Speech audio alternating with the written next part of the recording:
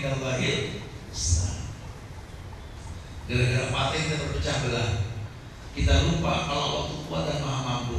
Kalau Allah kuat, kalau Allah maha mampu, ini membuat penyebab datangnya pertolongan Allah, kekuatan yang Allah berikan kepada kita, kemampuan yang Allah datangkan kepada kita. Bagaimana caranya? Sabab dibuat. Sederhananya panah saat bin Abi Waqqas. Kalau antum melihat panahnya saya sudah pegang sudah lihat langsung panah beliau.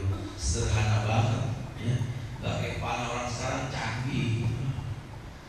Tapi saat bin Abi masya Allah, bergantung pada iman beliau kepada Allah. Wa ma ramaita id ramaita walakin Allah Allah yang melempar. Rasulullah Shallallahu Alaihi Wasallam mengatakan wajuila rizki tahta zili rumhi dijadikan rezekiku di bawah bayang-bayang tombakku. Orang sekarang menerjemahkannya berarti ke mana-mana bawa tombak. Bukan begitu. Antum sekali-kali nggak ada orang yang lempar tombak lempar panah kecuali pikir sebelum melempar itu yang dimaksud. Wajuila rizki tahta zili rumhi. Dijadikan rezekiku seukuran bayang-bayang tombakku kata Rasul. Mikir sebelum berbuat.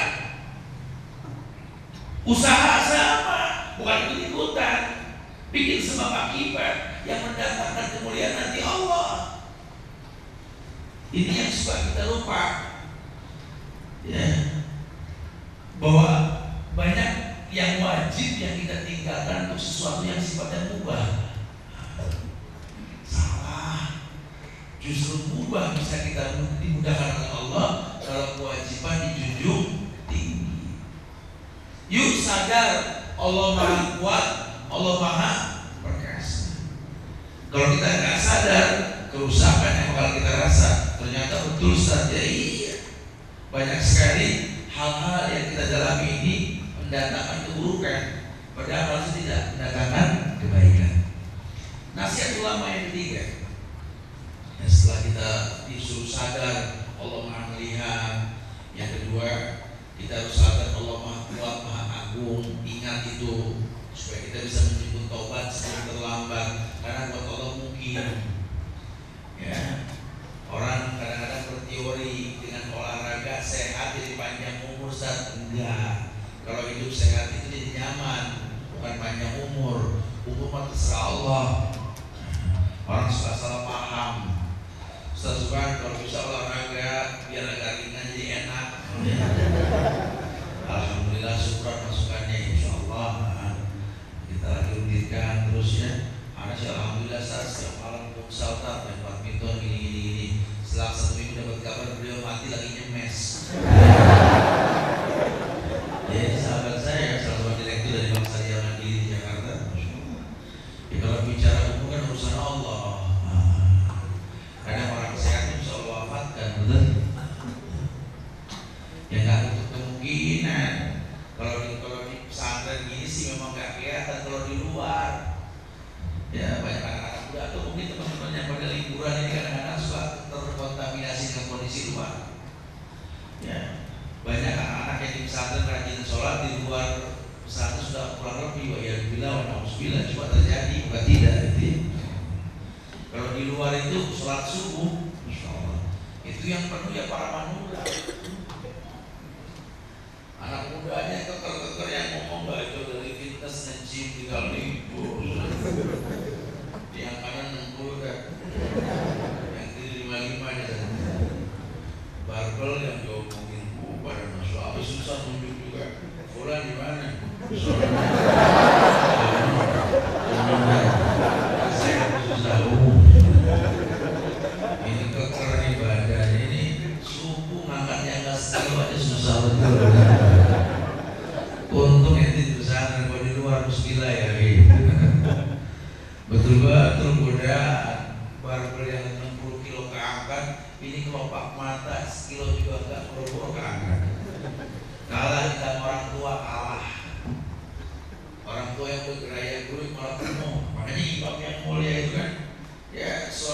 bukan sholatnya dua rakaat tapi suka panjang bacaannya betul?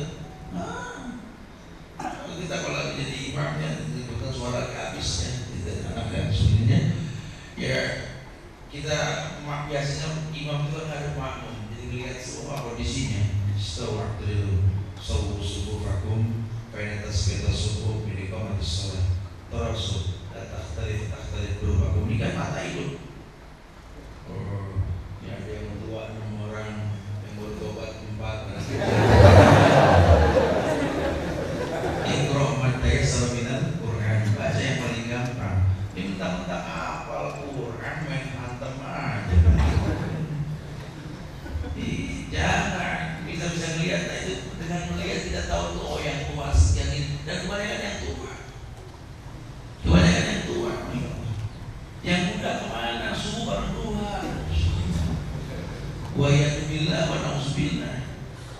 tidak nah.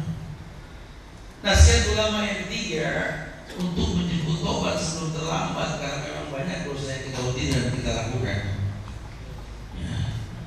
uh, Apa kata itu kayu al jauziyah Idza kunta au hasadka dzunub pada wa in sita falyastanis Idza kunta au hasadka dzunub fadaha wa in sita falyastanis ini saya kalau ingat ini ini syair suka mesem sendiri gitu loh. Karena bahasa Ibnu Qayyim ini di abad 15 beliau mengatakan Ida kunta hasad kadunum pada kalau kamu sudah capek bikin dosa tinggalin dosa. Jadi bahasanya kalau sudah capek berbuat dosa ada orang yang capek berbuat dosa. Ya Allah dosa lagi ya Allah. Dia sudah tahu dosa cuma kan dia manusia ini menandakan orang tidak masuk betul? Ini banyak di Indonesia ini orang beranggapan kalau sudah pesantren sudah beragama jadi ustaz jadi guru. Udah saat dia menyaris kalau dosa kan tuh salahnya gitu. Guru kita murid kita anak cucu istri suami sahabat kita pemimpin kita manusia pasti tempat berbuat salah dan dosa. Masih berhubungan dengan manusia, siapkan maaf yang lebih banyak ketimbang kesalahan yang dia lakukan. Iya. Jangan menganggap orang masuk.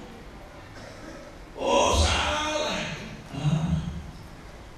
Saya masih ingat celotehan zaman-zaman di pesantren dulu. Kebetulan saya lulusan dari Darussalam Bogor, Ponorogo. Saya agak bandel dulu zaman sekolah ya agak jahil lah Jadi kalau di sana itu kalau azan sudah berkumandang, murid belum sampai masjid pasti dihukum. Nah, ya tidak mau tidak mau lah ya. Kalau sudah ngantri mandi itu pas Allah panjang betul. Mandi selesai kabur kita ke masjid pakai tangga ke atas masjid itu. Pas sampai ke tangga masjid azan, lomong, borong, saya nggak tahu di sini nggak ada nggak paham ya. Dulu itu lama sekali sudah. Oh, udah didiriin saya nasib dah. Dengerin ada sambil dihukum diri. Biasanya habis ada udah dipukul pakai sejadah ada tuh. Enggak lama Pak Kiai jalan naik ke masjid. Saya bilang sama Mudabir, kayak itu nggak ditangkap.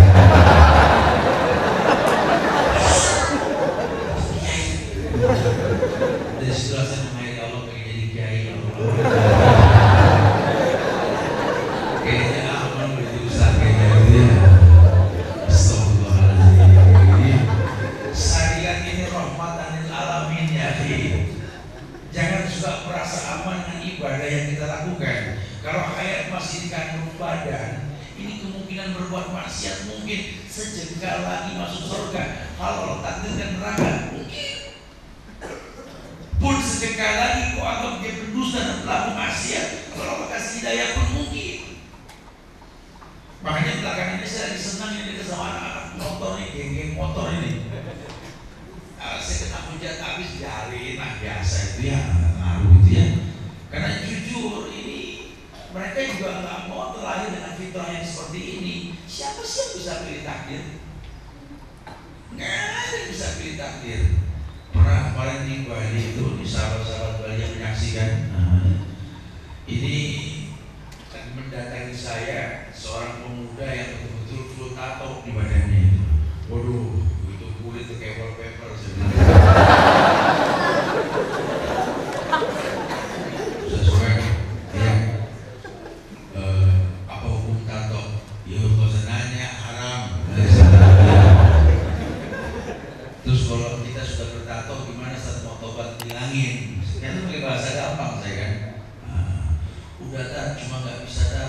sakit mahal macam-macam alasan. Ya udah katakullah masa waktu bertakwa semampunya pun dikembalikan ke Allah.